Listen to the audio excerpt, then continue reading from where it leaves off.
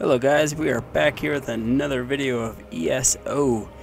And apparently I actually started a new character. And the reason why is because the last character I, I had a really bad start. I was just trying to show you guys the meaning of the game and the, the de all the details and how to get by and all that crap. Um, I started a new tank. I call uh started a new character and I call him Beastie Tank.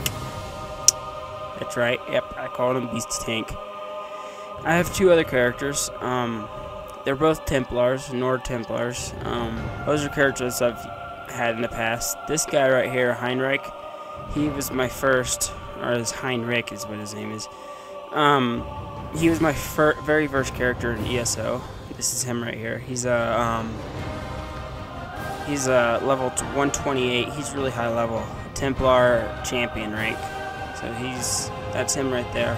Um, he is my very first character, one I've had for the longest. The horse and a panther.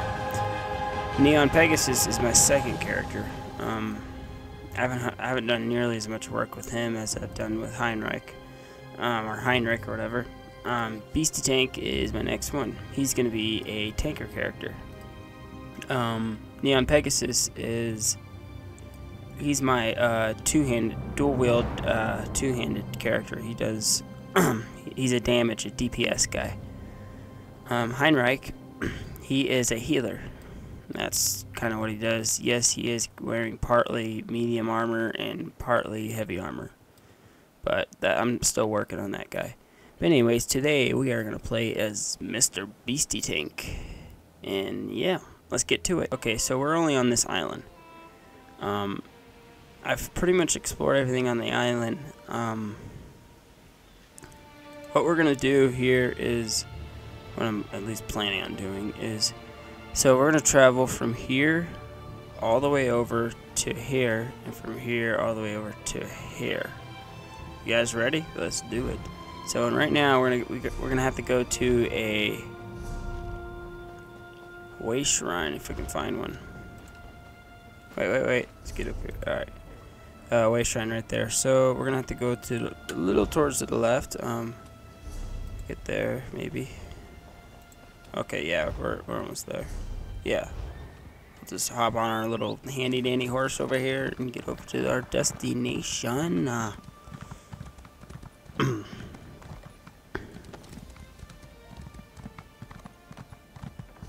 should be heading right over here. So apparently with this game is um, we have to there's certain areas and places we can't really cross through when it comes to traveling for instance if I go to the map I can't like I can't go I can't just go from here to here or I can't go from here to like let's say I can't go from here to to Cyrodiil. Cyrodiil the only way you get in there is if you go into a uh, a queue, and it has to be an Alliance War queue. That's the only way you can get into Cyrodiil. And I'll make some videos on that. I'll make some videos on us doing PvP and uh, uh, some dungeons. We'll do some quests. We'll, well, guys, there's so much crap we can do in this game. It's it's awesome. Um, over here, uh, there's there's so much in this island. Um, it might not look like a ton, but it's a lot. I mean, you got cities here, cities here, and there's so many quests you can do in that area. Uh, not to mention you got this area here. That there's a lot to do here. Um, that's where we're actually going to travel here in a second. And then here, uh, that that's all desert. This is pretty much the desert. Uh, this is desert, and that's also desert. There's a little bit of green here and there. This Cyrodiil is all green, and there's some snow. Up here is mostly green, but snow um, this is the rift. The rift is very green. I mean, it's you got Riften right here. In Skyrim, you have Riften. You can travel to Riften. Um, the cool thing about this is if you are a anyone in the Ebonheart Pact, um, like a uh, if you're a Nord, it, there's Nord, Dark Elf, and um, I think Khajiit. If you're one of those three, if you're anyone in the Ebonheart Pact, one of those races, you can actually be a werewolf, which is quite awesome. Um, and over here is all, that's all Morrowind. But anyways, let's, right now we're going to focus on the Daggerfall Covenant, which is on this section of the map, and let's do this. Let's get over to this way shrine and then zoom out. Alright, yep, here's what we're going to do. We're going to travel here. We're going to run all the way up here. We're, we're going to explore, guys. I want you guys to see the world of Tamriel. Tamriel is, it's awesome. Um, this is desert, and then we'll start getting the desert when we get up to these areas. Well, actually, these areas should be mostly rocky mountains. Um, not quite sure.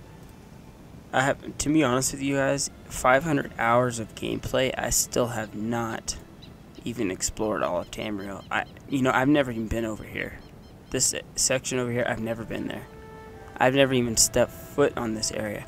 I've been here, but I've never set foot in this area. I've been in that dungeon, but I've never been exploring in this area. That's Aldemarion Dominion. Um, yeah, this is our section. We're Daggerfall Covenant. But anyways, enough of the talking. Let's get over here. Um, travel there. Alrighty.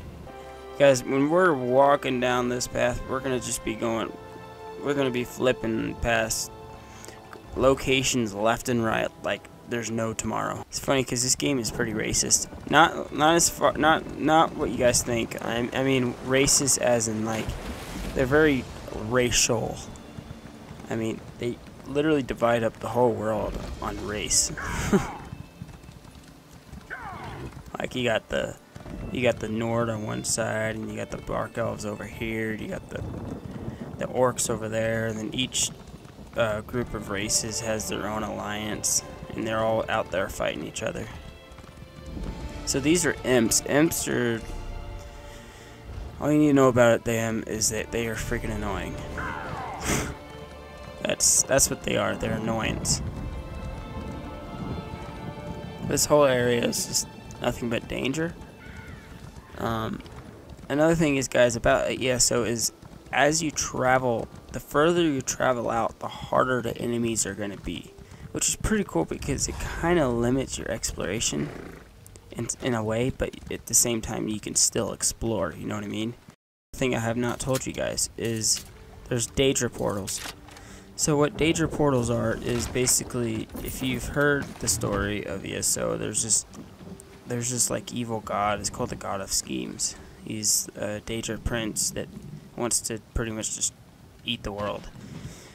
And eventually throughout the map you'll find these ancient ruin like ritual looking places. Um, and these places oftentimes you'll find a Daedra portal that will just kind of spawn out of nowhere and then start thro throwing in these uh, Daedra uh, soldiers and crap, and then you have to go in and kill them. But you get so much freaking XP when you do it.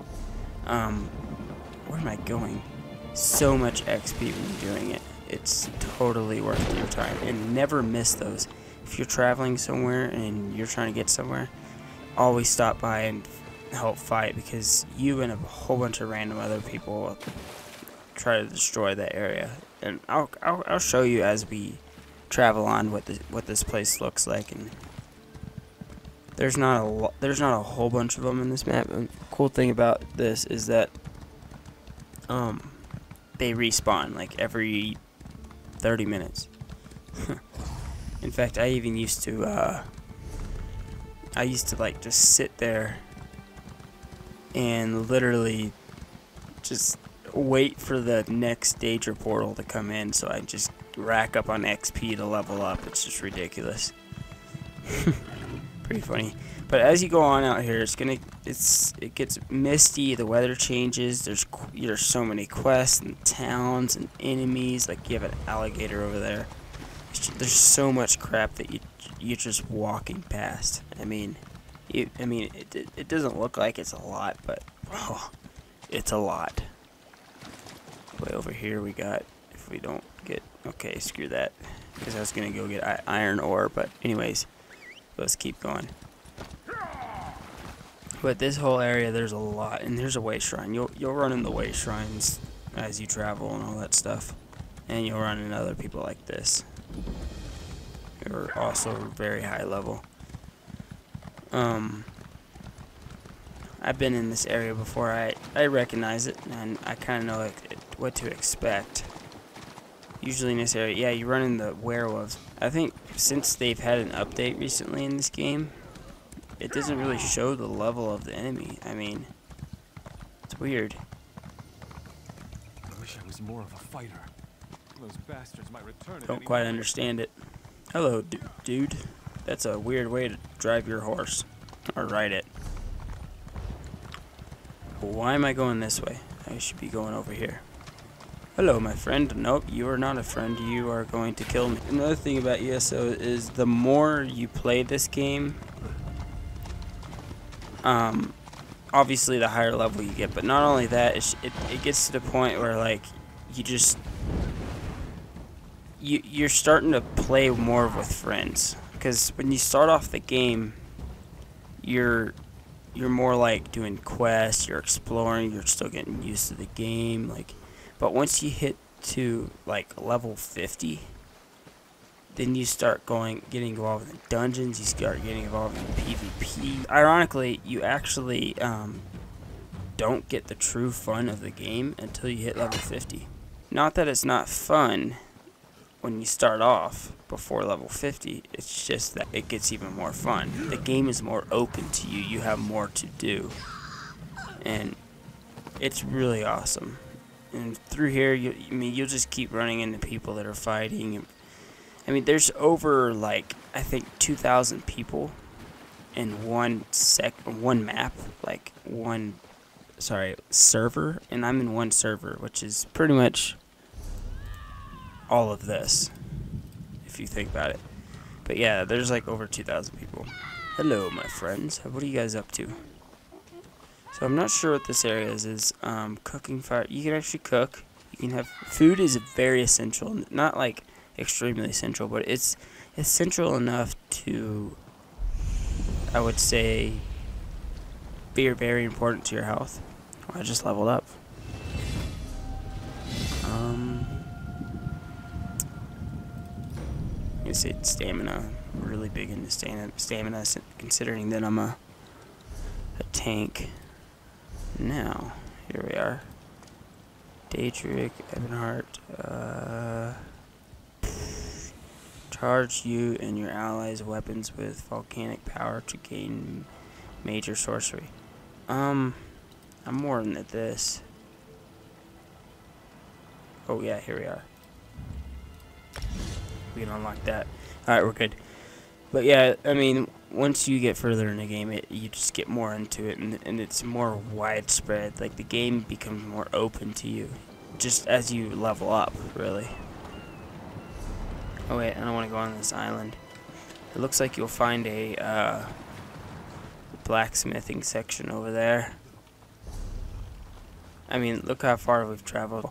And if you look on the map here, guys, um, this right here, this icon, that just mean that's just a boss. Those are boss fights. I mean, you'll find a big old guy there, and you have to kill him. And, and it's highly recommended that you get more people to do it. But yeah, those are good to know about, and they give you a lot of XP. I'm sorry. They forced me to do it. I had no choice. Over here, yeah, you'll find wood and just always stop by and get this jump. What the Okay.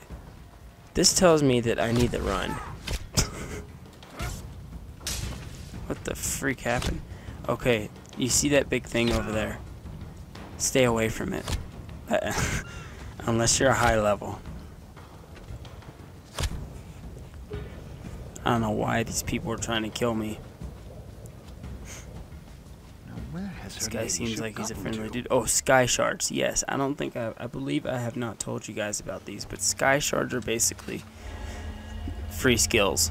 I mean, if you collect a certain amount of them, it'll give you one free skill point. Like what I just got, I just gain one skill point, and then you can go into your skill section and pick a skill. It's great. Now this looks cool. Lava whip. Mm, does up to 2,000 some damage. Um, I really want this. Oh, I'll, I'll save it. And yes, you can go into first person mode. I'm not really into it. I mean, this game is really meant for third person, um, just for the sake of like being in huge, large groups and like being very fast pace. Now we're heading northwest, so we should be getting to sort of the center of this area. As you travel through this area, you'll um, quite frequently run into um, different enemies, and they'll get even harder and harder. And you'll run into people like this that ask you to start a quest with them. But yeah, well, well, guys, since we're almost to the end of this area, um, I'm gonna have to end the vi- uh, video right here, and um, I really hope you guys enjoyed this video, and uh, please leave a like down at the bottom if you enjoyed it, and uh, I'll see you in the next video. Peace out.